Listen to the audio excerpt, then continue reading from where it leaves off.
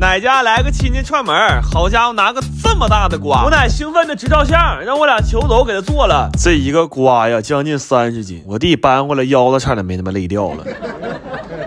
呃，馅儿包饺了，剩半拉给我弟留着当抱枕了。完了，剩点面给我奶烙饼了，正好大饼小饼摞一盘。来这人吧，我管他叫三叔，他愿意喝点小酒，我就给他做了只啤酒鸭。我说奶有鸭子了，是不是就不用做肘子了？我奶说你说的这叫什么话呀？那没有肘子，奶奶面子不成鞋垫子了吗？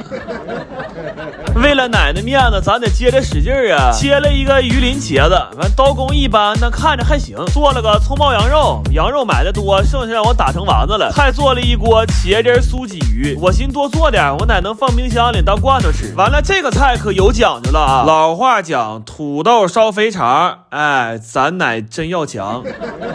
我弟还想跟着蹭一口，我说你拉倒吧，你吃赠品吧。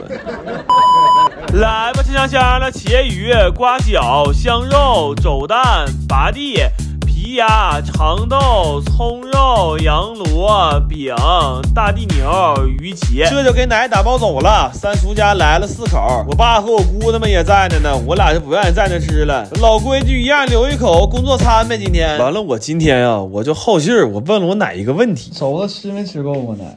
你说啥呢你？那肘子我能吃够吗？我最爱吃大肘子。